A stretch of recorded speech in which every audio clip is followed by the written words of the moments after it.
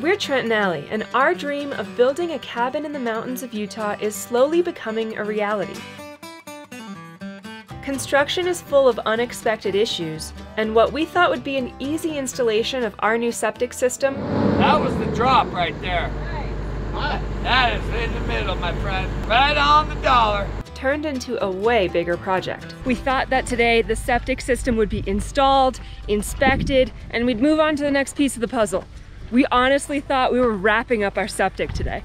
It's been a day of high highs We just got accepted! No way! Yes! and low lows. Is this your heaven, Trent? No, this is my nightmare. Don't forget to subscribe if you're not already, and hit the notification bell so you don't miss a video every Monday and Friday. And come along today as we overcome the obstacles of building in the mountains. it's not a laughing matter, but Allie thinks it's funny. Are you being a good boy? Are you ready for breakfast? Good morning, guys. I'm gonna feed Frank here in just a second. Don't worry. We've got a pretty big day planned today. We're heading up to the property. We're gonna be doing some work up there today. We've got some important planning, I think there's been a lot of progress made. If you missed our last video where we headed to southern Utah and I got to help frame a different cabin, you better go back and watch that one because that was a really good one. We also took Terry on her maiden voyage, and she did absolutely terrible. But now we're back here, everything is back in order, and we're ready to head up and get to work as soon as I can get this lazy munchkin out of bed. Don't blame me. Let's get some coffee going, we're gonna have some breakfast, and then we're gonna hit the road.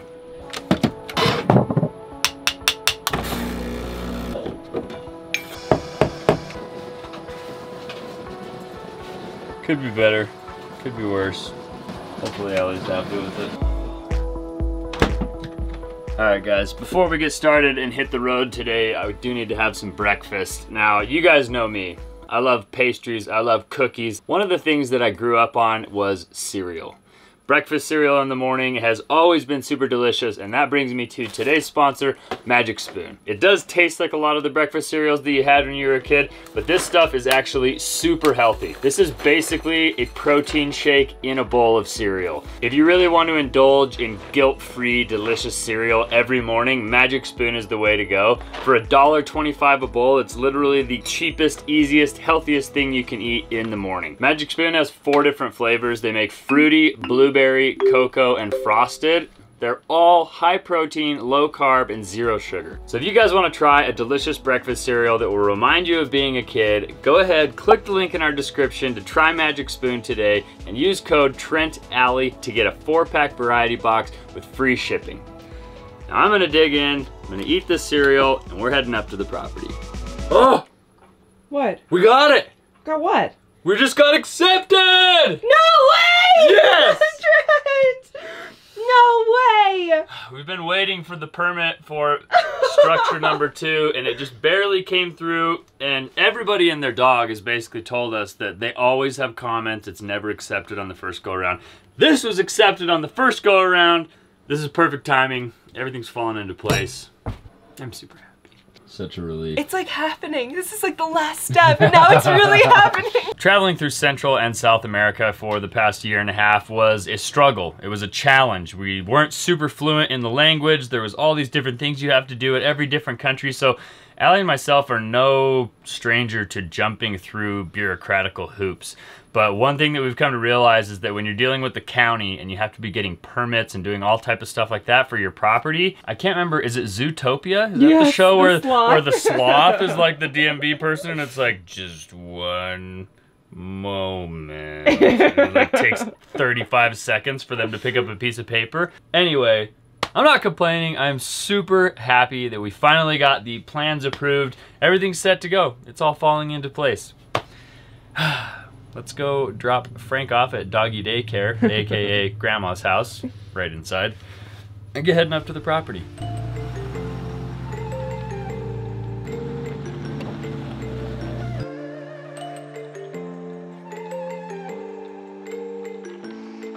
Over here is actually a place where there was a fire recently. There was some like 1,500 acres on fire just a couple days ago. I don't know what it's up to now. I know it was only like 7% contained when I saw it on the news.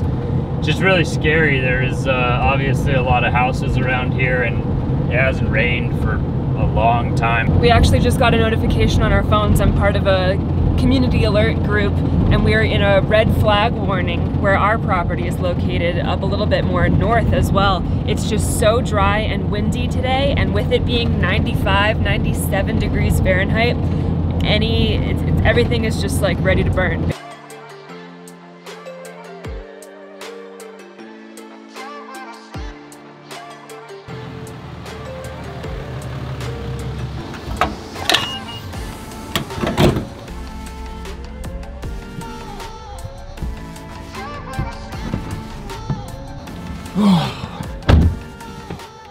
So, as you guys know, we have to drive for about two and a half hours to get from my mom's house where we're currently staying up to the property. Not only does this take quite a bit of time, but it takes a lot of fuel. So we're trying to get the trailer up here as soon as possible. We're actually contemplating moving the trailer up to my grandparents' house, which is only about an hour away from the property. We can live out in front of their house, but because of coronavirus, we have to stay away from them. So it's kind of a it's a predicament that we're in. Oh, I see Kevin and Curtis. Woo! People are up here making things happen. Look at this guy moving. Progress, progress, progress. Let's go see what we're doing today. Eat gray water that comes out. So it's a mixture. So everything else is supposed to settle in your tank. So it's just the water that's supposed to come out. A mixture of all the everything that breaks down. We're basically designing the septic system here. They need to put in a couple of different lines and a bunch of junction boxes. This giant concrete box over here. That's where all of our sewage is gonna go. Kind of gross, but I'm very excited about it. this is pretty intense. This is like something that has to be down to a specific science and we're trying to like kind of spitball and make some changes. The only thing that they can adjust is the length of these leach fields and it's required Sorry. it's required that we have a specific length of leach fields in order to let everything dissipate into the ground. Everything was planned out and engineered so that it would all fit on our little property, but we've run into the issue of wanting more parking space because we want visitors, we want friends to be able to come up and hang out. Terry needs a home. Terry needs a place to sit, so we're trying right now to figure out a way to to engineer to construct the septic tank without eating away at our extra parking that we've created that wasn't on the original plan, that's a little bit of a nightmare. Hopefully everything's gonna work out. I got trust in these guys. They're professionals. I'm gonna gig this sucker out.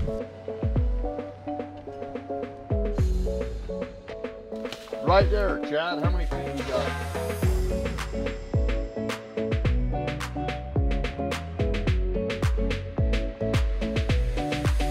This has been a very long process, as you guys know. Just getting the land took a long time, the permits took a long time. Construction is moving slowly as expected, and that's totally fine. We're okay with that. We keep trying not to give ourselves strict timelines and parameters of when things need to be done because inevitably it gets delayed and then you just get disappointed. So we've been thinking, okay, you know, it's gonna be a few more weeks until we're ready to start framing, to take over. But just now, Kevin said that he needs to order lumber because in two weeks, we're ready to frame. That came out of Kevin's mouth. Honestly, I'm really scared though. we just spent a few days framing another cabin. Physically, it seems very high consequence and just very scary. So, I'm trying to mentally prepare myself because I guess in two weeks we're gonna be ready.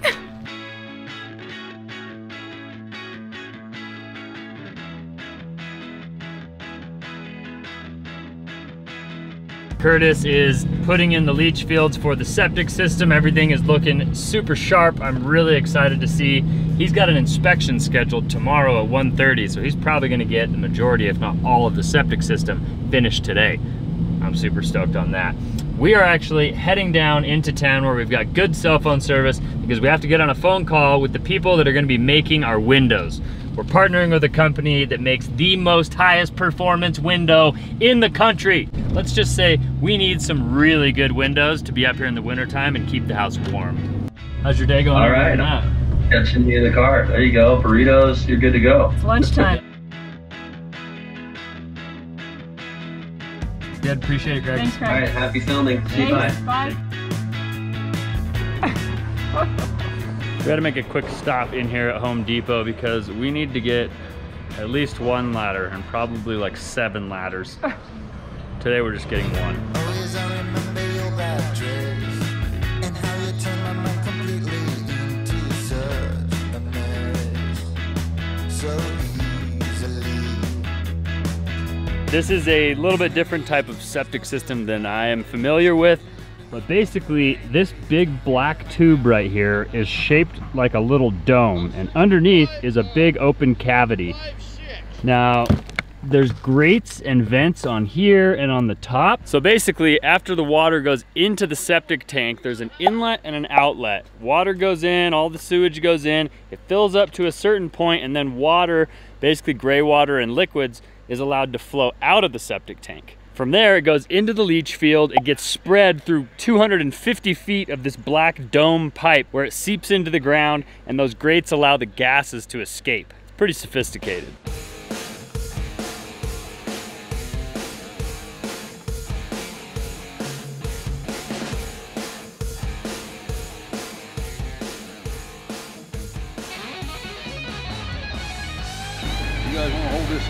Take the dumb end.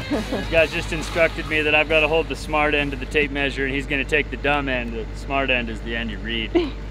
so we need to get at least 45 feet out of this run for the septic. I'm going to figure it out. While we live here, I'm going to figure out how to repel the flies because it's getting to be that time of year. I have about nine flies that are intermittently landing on me. They don't bite, they just like tickle you, and it makes me want to freak out. I will be your first and longest customer. Go for it. To the end cap, Yeah. 45 feet. Right on the money. Who knew installing a septic system was like real life Tetris? So precise. Very precise. So they ran all the lines for the leach field. They've pretty much dug out the whole septic system. The very last part that Curtis is just about to finish up is actually placing the septic tank up high up on our property because this is all a gravity fed system. It's been a very uh, constructive day here, a constructive day of construction. All right, guys, the moment is here. We've been up here digging and working and going crazy all day. We have another giant pile of dirt. It seems like we're just literally playing in a giant sandbox. So this right here is the hole that the septic tank is gonna go inside. And then when water runs in there and runs out, it's gonna go to all those leach fields that we just put in.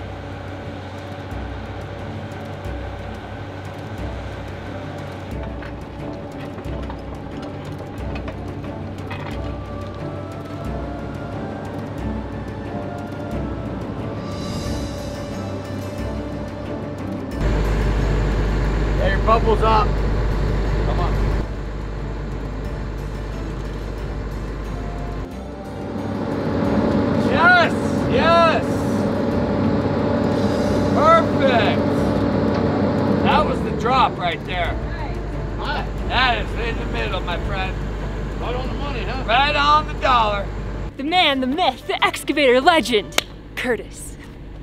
We have a septic system, guys. And that is it, ladies and gentlemen. That is how you set a septic system, or at least so a septic excited. tank. I think we're gonna take off for today. We'll see you guys in the morning.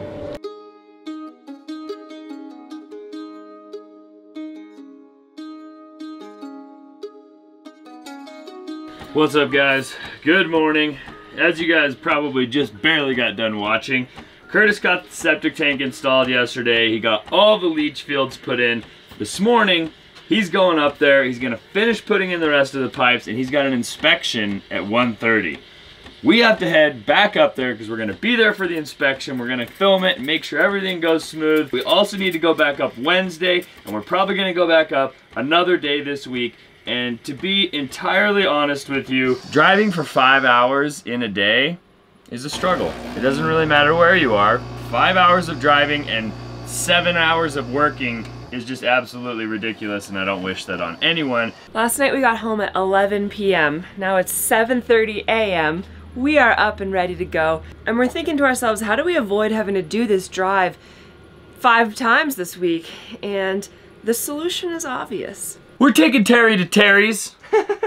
I don't know if you guys know this, but Terry is my grandmother's name, and they only live about an hour away from our property. So, This morning, we're gonna be towing Terry up to Grandma Terry's house and parking it in front of Terry's house, and then we're gonna drive up to the property. So we only gotta go back and forth for one hour. Frank, are you ready to go to Grandma's house? Yes, you are. Yes, you are. He loves Grandma's house because Grandpa feeds him things when he's not supposed Yes. to. Yes. I think all grandpas do that.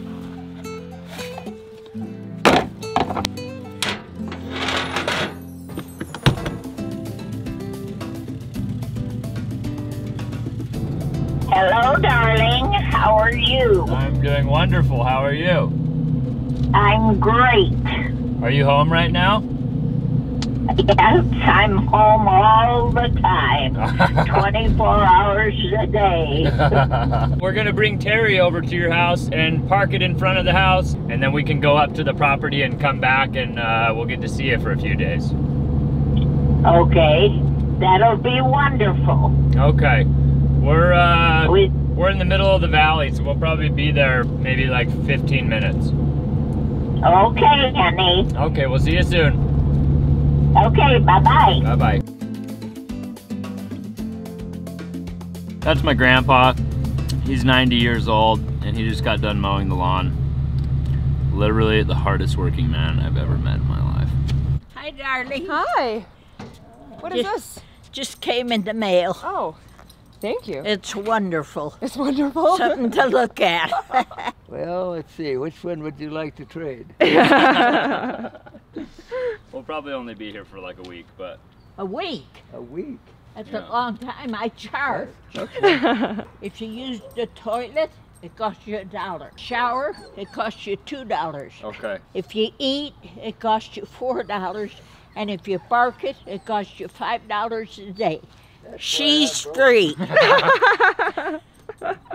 you have to pay. I'll just give you 20 bucks now and we'll call it even. Might do that. If I haven't said it before, Trent's grandma and grandpa are the cutest people I've ever met. I absolutely adore them. They have been incredible grandparents to Trent and to me as well, honestly. We feel really good about leaving Terry with Terry, and Frank is gonna hang out there as well. Now we have to get up to the property. It's almost noon, and big things are happening today. Terry, my grandma, is actually the watchdog of the neighborhood. She makes sure nothing fishy is going on in the neighborhood. There's not anybody out doing anything suspicious, so I know leaving Terry in front of her house is a good idea because she'll make sure everything stays safe With Terry the trailer. with Terry the trailer. So Terry is gonna be safe with Terry and Trent and Allie are gonna be heading up to the property. We gotta get up there in time for this septic system inspection. Let's get going.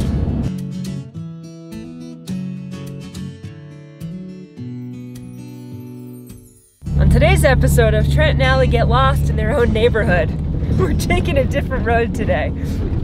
It's the same road we took last time when we got lost. It's very washboarded if you couldn't tell by the truck shaking to death. And I'm gonna take the other fork because there's a fork and I think I just went the wrong way. So we're gonna take the, The other- fork less traveled. We're gonna take the fork less traveled and I think that will lead us to our property.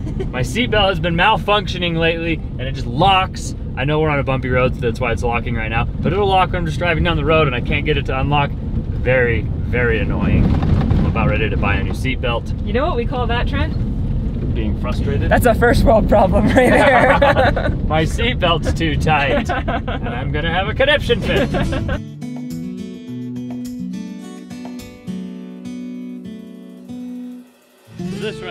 Is the watchtower for the entire property. You're the real life king of the hill. I am the real life king of the hill. This is my castle. and we're filling up the septic tank. It's something that you have to do in order to inspect the septic tank is you have to fill it up and make sure that water is going in, going out, not leaking out the side of the septic tank, and that it's going evenly to all the different leach fields. So as you guys saw yesterday, we got the septic tank set right here. These are the little manhole covers that are on the top. Hiya. And maybe you can see in there, maybe you can't.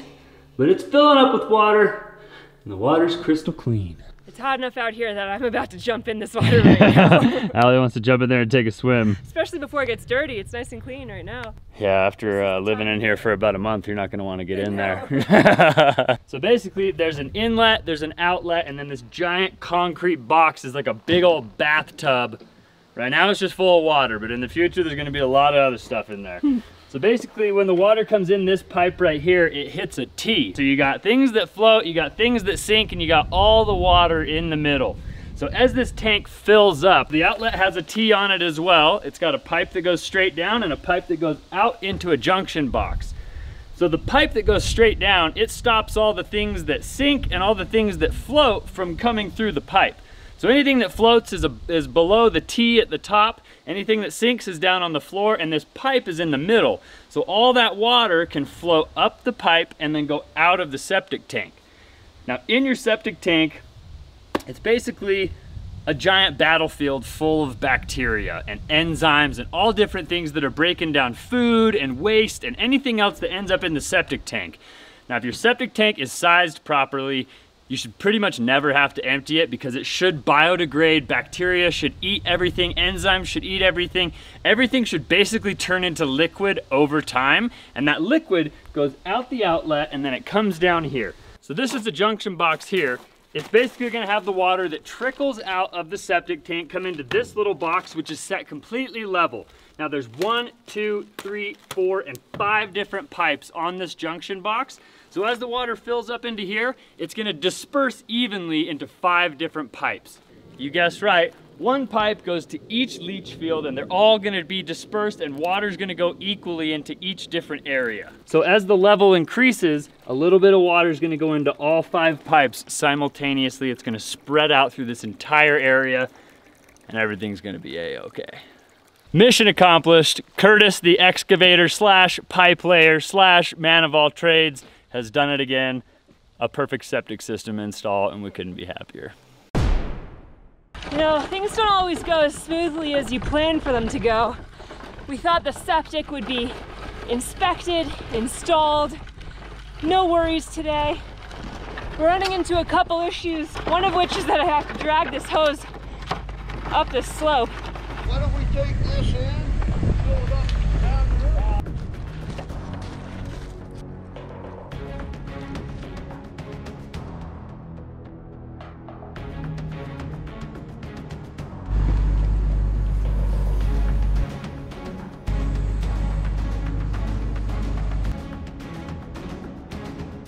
It could be better, it could be worse, and we're dealing with it. Construction is a process and it's full of unexpected issues.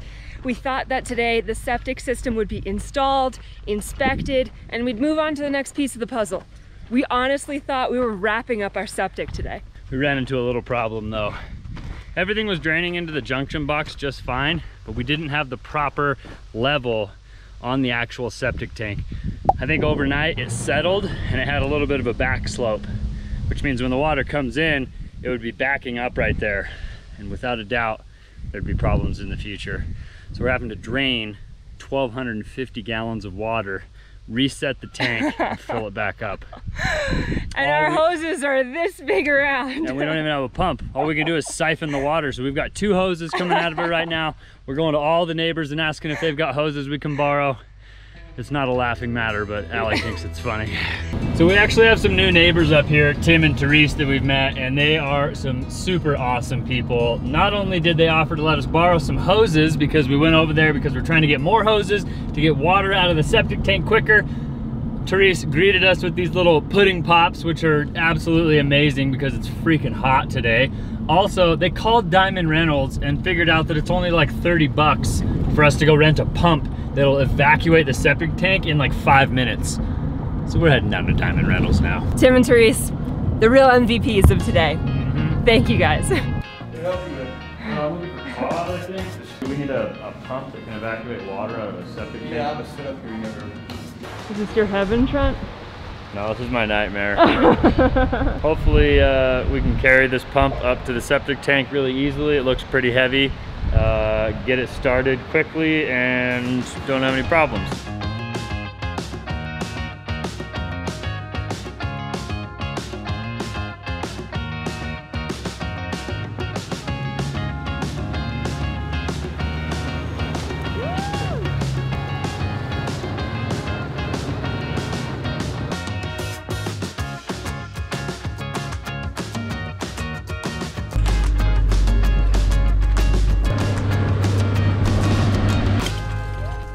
Not gone as expected today.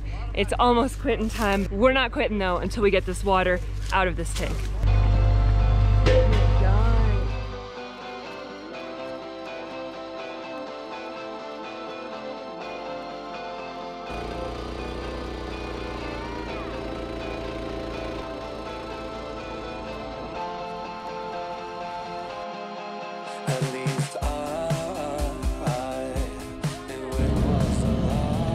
Day. How's it feel to drive up and down your driveway? Ah, it's pretty exhilarating, I'm gonna be honest. I'm Ah. really happy about being able to drive up my driveway, to be completely honest. It just goes to show that you gotta roll with the punches, basically. We totally expected a different outcome for today, a totally different video, and it ended up being a lot of fun. At least for me. I don't know if Trent had fun or not. We made it back to Diamond Rentals. We got the trash pump dropped off just in the nick of time. They even stayed till like 5.05 just so that we could check that piece of machinery back in. Big deal because in the morning, I'm going to my least favorite place in the world, the freaking dentist. So I wasn't gonna be able to come back and return that pump until later in the day and they probably would have charged me more. So I'm glad we got that taken care of. Now we got a short, probably 45 minute drive. Wherever we go, we can never get away from sprinklers. That is, that is always going to be the one constant in living trailer life. But the one huge perk of coming up to Trent's grandparents' house is we get to eat sushi for the first time in such a long time. Our favorite sushi restaurant is here in the valley, not in the country. We've had very limited restaurant options, which is totally fine, especially during coronavirus, and we like to cook anyway, but we are about to splurge tonight. I'm very excited. it's gonna be It's only 96 degrees inside the trailer. Oh my gosh. It doesn't even feel that bad. That's how used to being extremely hot I am. I have like a stomach ache because I like have only drank and haven't eaten, and I just um, You sure it's not from the stress of today? it's mostly from the stress. We had a really stressful day. I think we got everything figured out with the septic tank. We had to leave everything in our contractor's hands, in Curtis's hands, to fix the septic tank. We pumped all the water out. He's gonna re-level it in the morning. I got faith in him. Still gonna try and double check it. We're not going back until tomorrow, at least after my my dentist appointment. We hope you guys had a fun time coming along on this adventure. Probably learning something about a septic tank, unless Yeah. you're already versed and you've put one in or know a lot what about them. What to do and what not to do. Yeah. Don't set it in until it's super level. Well, make sure you level it before you fill it up. That's Yeah. the moral of the story. Yeah, seriously. If you guys enjoyed this video, make sure you show us by giving us a big thumbs up on the video. Subscribe to Trent and Allie if you haven't already. Make sure you click the notification bell so that you get notified every time we post a video. Thank you again to Magic Spoon for sponsoring today's video. Click the link in our description to check them out. And we will see you guys on the next one. Adios! Um, we know what we have, let's hold on tight. Found what we're looking for in life. Call us crazy, but things are finally right. With you and I, the future is bright.